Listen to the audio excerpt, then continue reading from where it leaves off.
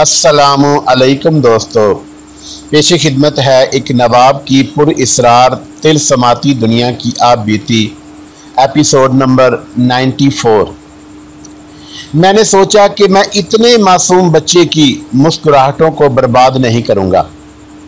تم بزدل ہو سکندر، معلوم نہیں یہ کس کی آواز تھی۔ تم انہیں قتل کرنے تو نہیں جا رہے۔ تم پر کس نے رحم کیا تھا؟ یہ ٹھیک ہے کہ میں انہیں قتل کرنے تو نہیں جا رہا تھا اور میں ان کے منہ سے نوالا چھیننے بھی نہیں جا رہا تھا۔ ان کے پاس کھانا فالتو تھا۔ یہ سوچ کر میں پھر چلنے لگا۔ دو ہی قدم اٹھائے تھے کہ میں رک گیا۔ مجھے خیال آیا کہ میرے ہاتھ میں ریفل اور میرا حلیہ دیکھ کر وہ روٹی میرے حوالے کر دیں گے اور دل میں کہیں گے کہ جا کتے، یہ لے روٹی اور چلا جا۔ ایک طرف بھوک تھی دوسری طرف خود داری یہ دونوں چکی کے دو پارٹ بن گئے اور میں ان میں پسنے لگا۔ مجھے اپنے آپ پر غصہ آ گیا۔ میں اسی کشم کش میں مبتلا تھا کہ وہ اٹھ کھڑے ہوئے۔ میں نے اچھی طرح دیکھا کہ دو پراٹھے بچ گئے تھے۔ ماں نے بچے کو اٹھایا اور باپ نے چادر، برتن اور روٹیوں والا کپڑا اس طرح اٹھایا کہ دو پراٹھے زمین پر گر پڑے۔ اور وہ چادر اور کپڑے وغیرہ تھیلے میں ڈال کر چلتے بنے۔ خامد نے بچے کو اٹھا لیا تھا اور بی بی گھوڑے پر سوار ہو گئی تھی۔ اس نے لپک کر بچے کو گود میں لے لیا تھا۔ خامد نے لگام پکڑی اور وہ چل پڑے۔ وہ جس سمت روانہ ہوئے تھے، میں اس کی الٹی سمت، نشیب کے اوپر اوپر ریفل کے سہارے تیز تیز چلنے لگا۔ میں ان دو پراٹھوں کے لیے جا رہا تھا جو وہ پھینک گئے تھے۔ ان کی منزل کہیں قریب ہی ہوگی، ورنہ وہ پراٹھے یوں پھینک نہ جاتے۔ یہ کسی امیر خاندان کے معلوم ہوتے تھے۔ ورنہ دیہات کے لوگ روٹی کا ایک ذرہ بھی زمین پر پڑا دیکھیں، تو اسے اٹھا کر چومتے ہیں، آنکھوں سے لگاتے ہیں اور کسی اونچی جگہ پر رکھ دیتے ہیں۔ یہ دونوں ابھی جوانی کی عمر میں تھے۔ ان پر ازدواجی زندگی کے اوائل کے رومان تاری تھے۔ بہرحال انہوں نے اللہ کے دیے ہوئے رزق کی بے ادبی کر کے اچھا کیا تھا یا برا۔ میں خوش تھا کہ وہ دو پراٹھے میرے لیے پھینک گئے تھے۔ میں ان کی الٹی سمت اس لیے چلا تھا کہ میں نشیب میں اتروں گا تو وہ نشیب میں سے نکل کر جا چکے ہوں گے۔ مجھے کچھ دور جانا پڑا جہاں نشیب میں اترا جا سکتا تھا۔ میں جب وہاں سے اترنے لگا تو دیکھا کہ پانچ چھ کوے درختوں سے اتر کر پراٹھے کھا رہے تھے۔ مجھے یوں لگا جیسے وہ میرا خزانہ لوٹ رہے ہوں۔ میں تیزی سے اترنے لگا۔ یہ بھی خیال نہ رہا کہ بارش نے پھسلن کر رکھی ہے اور میں گھاٹی میں اتر رہا ہوں۔ میرا پاؤں پھسلا، ریفل ہاتھ سے نکل گئی اور میں ایک پہلو کے بل گرا۔ پھر میں لڑکنے لگا۔ میں نے ریفل کی پرواہ نہ کی۔ مجھے پراٹھوں تک پہنچنا تھا۔ پراٹھے ابھی دور تھے اور کووں کی تعداد بڑھ گئی تھی۔ میں نے ایک پتھر اٹھا کر کووں کی طرف بڑی زور سے پھینکا کوے اڑ کر دور ہٹ گئے اور فوراً ہی پراٹھوں پر ٹوٹ پڑا میں ریفل کے سہارے کے بغیر لنگڑاتا ہوا جا رہا تھا میں انہیں ایک اور پتھر مارا پھر میں چلتا جاتا جھکتا پتھر اٹھاتا اور انہیں مارتا اور جب میں قریب پہنچا تو دو کوے ایک پراٹھا اٹھا کر اڑنے کی کوشش کرنے لگے آخر ایک نے پراٹھا چھوڑ دیا اور دوسرا اسے اٹھا کر درخت پر جا بیٹھا زمین پر ایک پراٹھا پڑا رہا اور میں اس کے اوپر جا گرا۔ کبوں نے اس میں سے کچھ کھا لیا تھا، اس پر انہوں نے پاؤں بھی رکھے تھے۔ جگہ جگہ اس پر چونچے بھی ماری تھی، لیکن میں نے پراٹھا اٹھایا اور تین چار نوالے بنا کر کھا گیا۔ اوپر دیکھا تو چار پانچ کبے ایک ٹہن پر بیٹھے، وہ پراٹھا کھا رہے تھے، جو ایک کوا اٹھا کر لے گیا تھا۔ میں نے انہیں پتھر مارے تو پراٹھا جو آدھا رہ گیا تھا، نیچے آ پڑا۔ اور میں نے وہ بھی اٹھا لیا اور اسے بھی کھا لیا۔ پیٹ کی آگ بہت حد تک سرد ہو گئی۔ تب مجھے ریفل کا خیال آیا۔ دور سے دیکھا ریفل گھاٹی پر پڑی تھی۔ میں اس طرف چل پڑا۔ جا کر ریفل اٹھائی اور پھر اوپر چلا گیا۔ نشیب میں کھڑے رہنا ٹھیک نہیں تھا، کیونکہ یہ گزرگاہ تھی۔ میرے پاس اس سوال کا جواب بھی نہیں تھا کہ میں اوپر کھڑا ہو کر کیا کروں گا۔ میں پھر اسی کھڑ کے قریب جا کر بیٹھ گیا۔ یہ غالباً کمزوری کا اثر تھا کہ مجھ پر گنودگی تاری ہونے لگی۔ میں بیٹھ گیا۔ زمین گیلی تھی، لیکن میں انسان نہیں رہا تھا۔ میں گیلی زمین پر ہی لیٹا اور سو گیا۔ بہت دیر بعد میری آنکھ کھلی تو میں نے نیچے دیکھا۔ بالکل اسی جگہ جہاں وہ میاں بی بی بیٹھے تھے، وہاں ایک آدمی چادر بچھائے اس پر لیٹا ہوا تھا اور درخت کے ساتھ ایک گھوڑی بندھی ہوئی تھی۔ میں اس آدمی کو دیکھتا رہا۔ صاف پتہ چلتا تھا کہ وہ گہری نیند سویا ہوا ہے۔ میرے دماغ میں فوراً ایک سکیم آ گئی۔ میں نشیب میں اترنے کے لیے چل پڑا۔ میں نے یہ سوچا تھا کہ اس آدمی سے گھوڑی لے لوں گا اور اس کے پاس جو پیسے ہوں گے وہ بھی لے لوں گا۔ پھر اسے پوچھوں گا کہ قریب کون سا گاؤں اور شہر ہے۔ اور اگر اس آدمی نے مزاحمت کی تو میں اس پر ہاتھ اٹھانے سے بھی دریگ نہیں کروں گا۔ میں گھاٹی سے اتر کر اس کی طرف جا رہا تھا۔ میری کوشش یہ تھی کہ میرے پاؤں کی آہٹ اور بار بار ریفل کے بٹ زمین پر ٹکنے کی آواز نہ آئے، لیکن کچھ نہ کچھ آواز پیدا ہو ہی جاتی تھی۔ میں اس کے قریب پہنچ گیا۔ وہ ایک پہلو کے بل سویا ہوا تھا۔ میری طرف اس کی پیٹھ تھی۔ اسے میری موجودگی کا علم نہ ہوا۔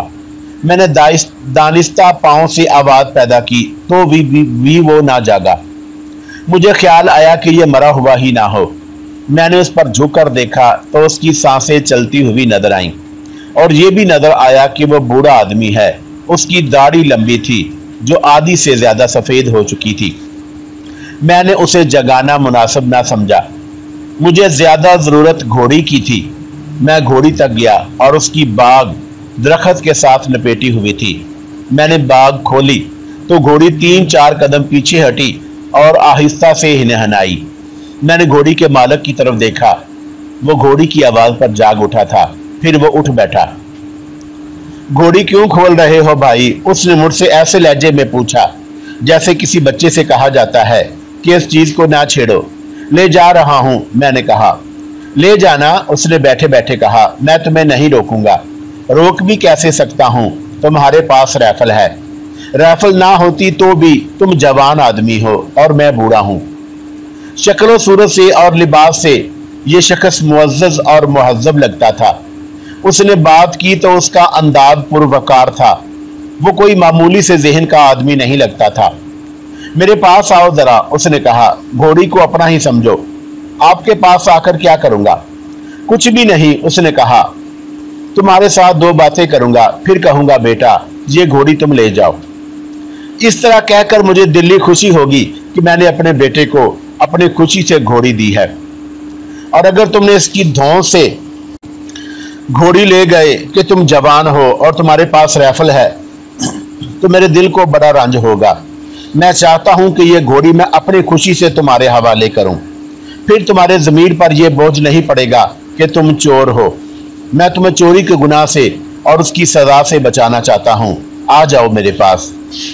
اس کے الفاظ کا اثر تو تھا ہی، لیکن جس انداز سے اس نے یہ الفاظ کہے، اس میں جادو کا سا اثر تھا۔ میں نے گھوڑی کی باغ درخت کے تنے کے ساتھ باندھ دی اور آہستہ آہستہ چلتا بوڑھے کے قریب چلا گیا۔ بیٹھ جاؤ یہاں۔ اس نے اپنے نیچے ایک دری سی بچھا رکھی تھی اور اس پر ہاتھ مار کر کہا، میں اس کے پاس بیٹھ گیا۔ میں اس سے متاثر تو ضرور ہوا تھا، لیکن میں ڈرا نہیں تھا۔ وہ بوڑھا آدمی تھا، میرا کیا بگاڑ سکتا تھا؟ کہاں جا رہے ہو؟ اس نے پیار سے پوچھا۔ معلوم نہیں، میرے منہ سے نکل گیا۔ کہیں نہ کہیں تو جاؤں گا ہی۔ سفر زیادہ ہے، اس نے پوچھا۔ چل نہیں سکتے، لنگڑا کر کیوں چلتے ہو؟ گر پڑا تھا، میں نے جواب دیا۔ گھٹنے کی چوٹ آئی ہے۔ آپ کہاں جا رہے ہیں؟ بستی سلطان، اس نے جواب دیا۔ تین چار میل آگے ہے، میں وہاں کی مسجد کا خطیب ہوں۔ آپ تو بڑی گہری نیند سو رہے تھے، میں نے کہا۔ رات بھر جاگتا رہا تھا، اس نے کہا۔ یہاں سے کچھ دور ایک قصبہ ہے، وہاں کے لوگوں نے ایک جلسے میں بلایا تھا۔ عشاء کے بعد مسجد میں جلسہ شروع ہوا۔ میں خطیب ہی نہیں، مبلغ بھی ہوں۔ میں نے ایسا موضوع شروع کر دیا کہ ساری رات گزر گئی۔ لوگ بھی دلچسپی سے سنتے رہے۔ یہاں نماز کی، ظہر کی نماز پڑھی تو آنکھ لگ گئی۔ جاؤ گھوڑی لے جاؤ، لیکن خوش نہ ہونا کہ تم نے کسی سے گھوڑی چھینی ہے۔ یہ سمجھنا کہ باپ نے اپنے بیٹے کو گھوڑی دی ہے۔ کیا اس گھوڑی سے تمہاری ضرورت پوری ہو جائے گی؟ نہیں، میں نے اس طرح جواب دیا، جیسے اس نے مجھ سے اقبال جرم کروا لیا ہو۔ میری اس وقت ضرورت یہ ہے کہ کھانے کو کچھ مل جائے۔ وہ دیکھو، گھوڑی کے ساتھ تھیلا بندھا ہوا ہے۔ اس نے کہا، وہ کھول لاؤ۔ میں تھیلا کھول لایا اور اس کے کہنے پر میں نے تھیلے میں ہاتھ ڈالا۔ ہاتھ جب باہر نکالا تو کھانے کی کئی چیزیں میرے ہاتھ میں آ گئیں۔ جن میں مٹھائی بھی تھی اور میں نے جس بے صبری سے کھانا شروع کر دیا، اس طرح جانور ہی کھایا کرتے ہیں۔ وہ جہاں دیدہ خطیب سمجھ گیا ہوگا کہ میں کئی روز کا بھوکا ہوں۔ میں جب کھا چکا تو اس کی نظریں میرے چہرے پر جمی ہوئی تھی زین کی دوسری طرف پانی کی چاگل بھی بندی ہوئی ہے۔ اس نے کہا، جاؤ پانی پی لو۔ میں نے پانی پی لیا اور گھوڑی کے پاس ہی کھڑے کھڑے میں نے اس خطیب کی طرف دیکھا تو مجھے ایسے لگا جیسے یہ خطیب نہیں، بلکہ یہ خضر علیہ السلام ہیں، جن کے قصے میں نے کئی بار سنے تھے۔ میں بھی اس عقیدے کا قائل تھا کہ بھٹکے ہوئے بھوکے پیاسے مسافروں کو خضر علیہ السلام ملتے ہیں اور راستہ دکھاتے ہیں۔ مجھے اپنی نظریں بدلی بدلی سی محسوس ہونے لگی۔ یہ شاید اس کا اثر تھا کہ میرے جسم کو صحیح غذا مل گئی تھی اور دماغ تک تازہ خون پہنچ گیا تھا۔ میں اس طرح آہستہ آہستہ چلتا اس تک پہنچا جیسے اس نے مجھے ہپناٹائز کر لیا ہو۔ میں اس کے سامنے جا بیٹھا۔ تب مجھے خیال آیا کہ یہ قابل احترام ہے، بلکہ یہ آدمی ہے ہی نہیں۔ آپ کون ہیں؟ میں نے ان سے پوچھا اور کہا، آپ نے اپنے متعلق غلط بتایا ہے کہ آپ خطیب ہیں۔ آپ خضر علیہ السلام ہیں اور ابھی آپ غائب ہو جائیں گے خدا کا شکر ہے کہ تم نے مجھے خضر علیہ السلام کہا ہے۔ انہوں نے کہا، ورنہ بھوکے کو جس کسی سے روٹی مل جائے، اسے وہ خدا بھی کہہ دیتا ہے۔ بادشاہوں کے آگے درباری فرشی سلام کیوں کرتے ہیں؟ صرف اس لیے کہ سلام کا انعام ملتا ہے۔ انسان کو بادشاہ جھکنے والے انسان بنایا کرتے ہیں۔ فرعون خود خدا نہیں بنے تھے۔ انہوں نے اپنے آپ کو خدا اس لیے کہا تھا کہ سجدہ کرنے والے موجود تھے۔ میں تمہیں گوڑی اس لیے دے رہا ہوں کہ تمہاری ٹانگ تمہیں چلنے نہیں دیتی اور میں نے تمہیں روٹی اس لیے کھلائی ہے کہ تم بھوکے تھے۔ یہ خدا ون تعالی کا حکم ہے جس کی میں نے تعمیل کی ہے۔ وہ ہلکی سی ہنسی ہنس کر بولے، تم اپنے آپ کو اس لیے طاقتور سمجھتے ہو کہ تمہارے پاس ریفل ہے۔ سمجھنے کی کوشش کرو بیٹا میں تم سے نہیں پوچھ رہا کہ تم کون ہو، کہاں سے آئے ہو، کہاں جا رہے ہو۔ اگر آپ ہمدردی سے پوچھنا چاہتے ہیں کہ میں کون ہوں اور کیوں بھٹکتا پھر رہا ہوں، تو میں آپ کو بتا سکتا ہوں، میں نے کہا۔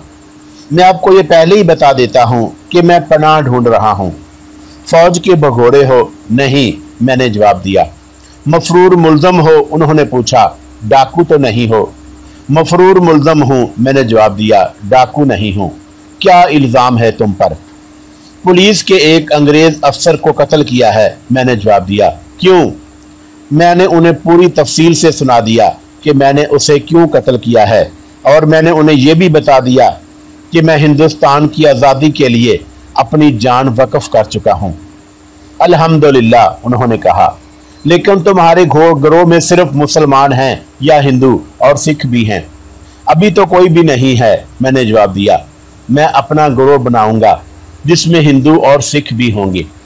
میں نے اسی لیے تم سے پوچھا تھا کہ ہندو اور سکھ بھی تمہارے ساتھ ہوں گے، انہوں نے کہا۔ ہندو اور سکھ تمہارے ساتھ نہیں ہونے چاہیے، میں جانتا ہوں۔ ہندوستان میں کچھ لوگ دہشت گردی یعنی بموں کے دھماکوں اور انگریز افسروں کے قتل کی صورت میں آزادی کی جنگ لڑ رہے ہیں۔ لیکن تمہیں معلوم نہیں کہ ہندو ہندوستان میں ہندو راج چاہتے ہیں اور جوشیلے اور جذباتی مسلمانوں کو اپنے ساتھ ملا رہے ہیں اور انہیں ہندو اپنے مقاصد کے لیے استعمال کرتے ہیں۔ محترم، میں نے کہا، ایک ہندو مجھے ڈنک مار چکا ہے۔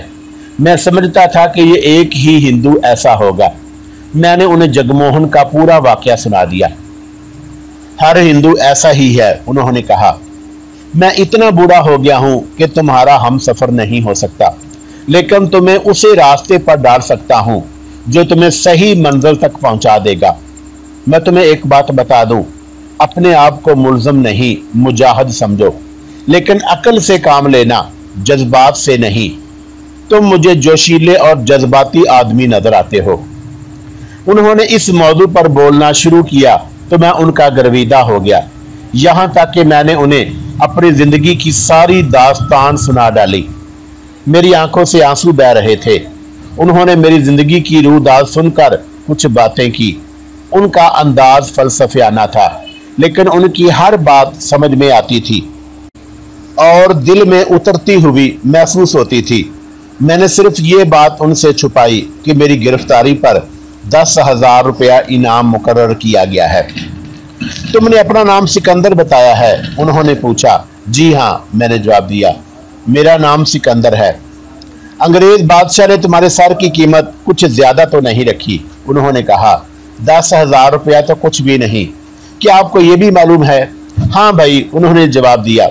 معلوم ہے، میں آپ کو یہ بات نہیں بتانا چاہتا تھا۔ میں نے کہا بتانا اس لیے نہیں چاہتا تھا کہ میں آپ سے کہنا والا تھا۔ چند دنوں کے لیے مجھے اپنے پاس رکھیں تاکہ میری ٹانگ چلنے کے قابل ہو جائے اور میں کہیں اور نکل جاؤں۔ کیا اب مجھ سے پناہ نہیں مانگو گے؟ گستاخی معاف محترم، میں نے کہا، دس ہزار میں بڑی طاقت ہے۔ طاقت ایمان کی ہوتی ہے، پاگل، انہوں نے کہا۔ اگر تم نے میرے ایمان کی قیمت دس ہزار لگائی ہے، تو یوں سمجھو کہ تم نے مجھے یہ کہا ہے۔ کہ تم خطیب نہیں، بہت بڑے بے ایمان ہو۔ میرے ساتھ چلو گے، میں اس سوال کا جواب فوراً نہیں دے سکتا تھا۔ وہ بے شک خطیب تھا اور میں اس کی شخصیت سے متاثر بھی ہو گیا تھا، لیکن دس ہزار ایک خزانہ تھا۔ میں تمہیں اپنے ساتھ لے جاؤں گا، انہوں نے کہا۔ اگر تمہیں مجھ پر اعتبار نہیں، تو وہ میری گھوڑی کھڑی ہے، اس پر سوار ہو جاؤ اور چلے جاؤ۔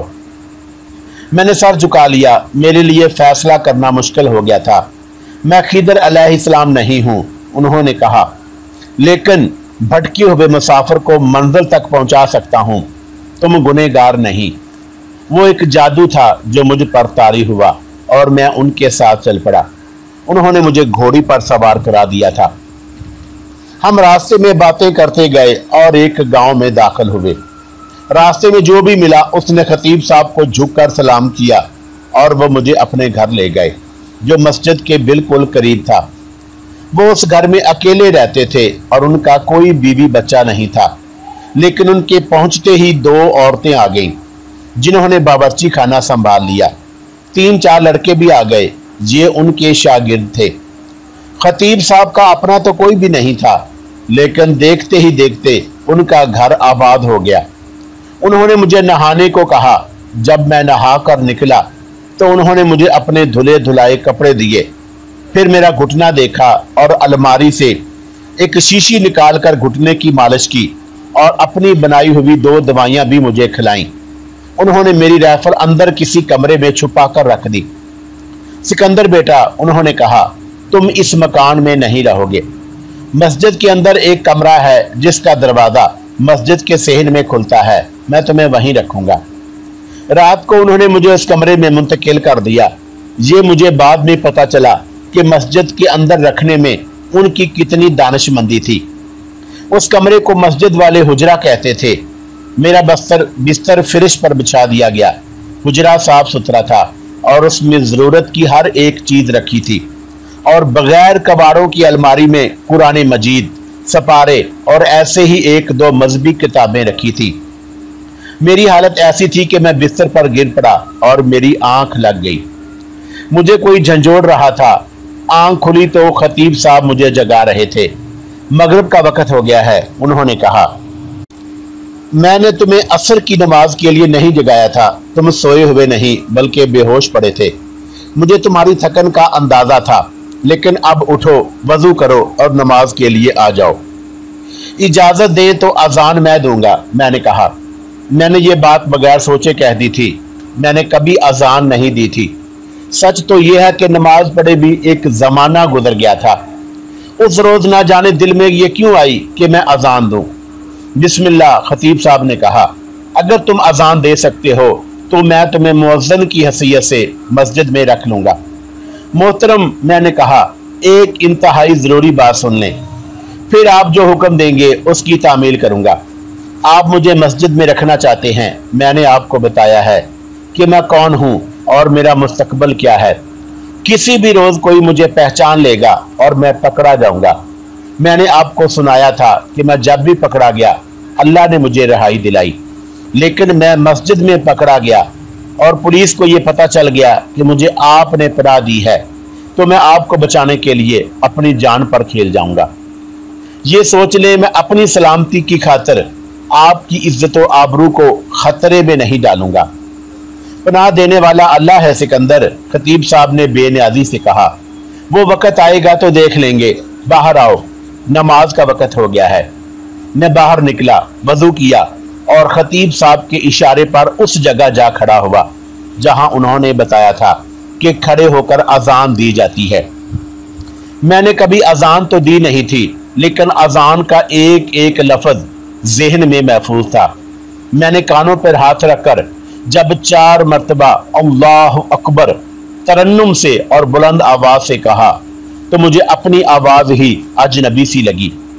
میں نے خود محسوس کیا کہ میری آواز میں سوز ہے اور موسیقیت بھی ہے اور اس کے بعد میں نے جو اذان دی وہ سرور کی عالم میں دی اور میری آواز کا سوز بڑھتا ہی جا رہا تھا۔ یہ مقدس الفاظ میرے سینے میں سے نکل رہے تھے۔ ذات کی گہرائیوں میں سے کہوں تو زیادہ موضوع ہوگا۔ میں نے یہ بھی محسوس کیا کہ میری اذان میں میری آہیں اور فریادیں شامل ہیں۔ آخر میں جا کر مجھ پر رکت سی تاری ہو گئی، لیکن میں نے اپنے آپ کو سنبھال لیا۔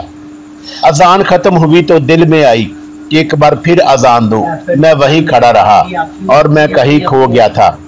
جزاک اللہ جزاک اللہ دو تین آوازوں نے مجھے اس بے خودی سے بیدار کر دیا۔ کتنی میٹھی اور کتنی سریلی آواز ہے۔ تین چار آدمی اکٹھے مسجد میں داخل ہوئے۔ اذان کس نے دی ہے؟ آنے والے ایک آدمی نے پوچھا۔ نمازیوں نے میری طرف اشارہ کیا۔ انہوں نے داد دی اور اس کے ساتھ ہی جماعت کھڑی ہو گئی۔ میں نے جب خطیب صاحب کی کرت سنی تو مجھ پر وجد تاری ہو گیا۔ میں نے عشاء کی نماز بھی خطیب صاحب کے پیچھے پڑھی۔ مغرب کی نماز کے بعد انہوں نے مجھے بڑا اچھا کھانا کھلایا تھا۔ اور رات کو جب میں حجرے میں اکیلا تھا تو اپنے متعلق سوچنے لگا۔ بار بار یہی ایک خیال آتا تھا کہ میں باقی عمر اسی مسجد میں گزار دوں۔ پانچ چھ روز مسجد میں گزر گئے۔ میری دنیا حجرے اور مسجد تک محدود تھی۔ میری ریفل اور راؤنڈ خطیب صاحب نے اپنے گھر میں چھپا لیے تھے۔ خطیب صاحب کو میں اپنا پیر و مرشد تو مان ہی چکا تھا۔ لیکن کسی کسی وقت ذہن میں بہم سا اور ایک وسوسہ آ جاتا تھا کہ یہ دھوکہ ہی تو نہیں۔ ان چھ سات دنوں میں خطیب صاحب نے مجھے بہت سی باتیں سمجھائی تھی۔ یہ میں نے پہلے آپ کو بتایا ہے کہ ان کا انداز واز جیسا نہیں ہوتا تھا، بلکہ وہ حقیقی زندگی کی باتیں کرتے تھے۔ اس طرح انہوں نے مجھے اپنا گرویدہ بنا لیا تھا۔ محترم استاد، ایک روز میں نے انہیں کہا، میری رائفل اور گولیاں آپ اپنے پاس نہ رکھیں۔ کیوں؟ اس لیے کہ آپ آنت جرم میں اور مجھے پناہ دینے کے جرم میں پکڑے جائیں گے، میں نے کہا۔ اگر میں نہ پکڑا گیا اور آپ کے گھر سے رائفل برآمد ہوئی، تو بھی آپ بلا لائسنس اسلحہ اپنے پاس رکھنے کے جرم میں گرفتار ہو سکتے ہیں۔ وہ نہیں مان رہے تھے، لیکن میں پولیس کا آدمی تھا، قانون کو جانتا تھا۔ میں اس رات ان کے گھر گیا اور خود ہی رائفل اور راؤنڈ اٹھا لایا اور حجرے میں بستر کے نیچے ایک طرف رکھ دیے۔ اس کے اگلے ہی روز میں زہر کی نماز باجمات پڑھ چکا تو پیچھے دیکھا اور میں اس وقت تک زاہد اور پارسا بن چکا تھا۔ لیکن پچھلی صف میں مجھے ایک چہرہ نظر آیا، جسے دیکھ کر میں مفرور قاتل اور ڈاکو بن گیا۔ پچھلی صف میں انسپیکٹر فضل حسین وردی میں بیٹھا تھا۔ مجھے دھوکے کا جو خطرہ تھا وہ مسجد میں آ گیا تھا۔ انسپیکٹر فضل حسین بڑی دور کے ایک تھانے میں تھا اور اس کا یہاں آنا صاف بتاتا تھا کہ وہ میرے پیچھے آیا ہے۔ اس نے مجھے دیکھا تو اس کے چہرے پر جو تاثر آیا اور جس طرح اس کی آنکھیں کھل گئیں، اسے پتا چلتا تھا کہ وہ خوش ہے کہ اس نے شکار مار لیا ہے۔ نمازی ایک ایک کر کے رخصت ہو گئے۔ میں بڑی تیزی سے سوچنے لگا کہ میں یہاں سے کس طرح بھاگ سکتا ہوں۔ ایک ہی طریقہ تھا کہ میں ہرن کی طرح اچھلتا اور پوری رفتار سے دوڑتا ہوا باہر نکل جاتا۔ لیکن ہوا یوں کہ میں باہر نکلنے کے لیے چلا تو فضل حسین میری طرف آیا۔ قافلہ تو کچھ تھا نہیں، میرے آگے کچھ نمازی تھے جو نکل رہے تھے۔ السلام علیکم۔ فضل حسین نے سلام کر کے ہاتھ آگے کیا۔ وعلیکم السلام۔ میں نے ہاتھ بڑھا کر اس کے ساتھ مسافہ کیا اور کہا، آپ نے اپنا عہد پورا کر دیا ہے۔ شاید نہیں انسپیکٹر فضل حسین نے کہا، یہیں بیٹھ جاؤ۔ میں نے مسجد کے دروازے سے باہر دیکھا۔ مجھے ایک ہندو کانسٹیبل اور ایک ہندو اے ایس آئی باہر کھڑے نظر آئے۔ خطیب صاحب نے دیکھا کہ ایک تھانے دار نے مجھے اپنے پاس بٹھا لیا ہے۔ تو وہ تیز تیز چلتے ہم تک آئے۔ میں نے ان کے چہرے پر گبراہٹ دیکھ رہا تھا۔ وہ ہمارے پاس بیٹھ گئے۔ یہ ہمارے موزن ہیں۔ خطیب صاحب نے انسپیکٹر فضل حسین سے کہا، آپ شاید انہیں جانتے ہیں، ان کی اذان سنی ہے کبھی؟ نہیں مولانا، انسپیکٹر فضل حسین نے کہا۔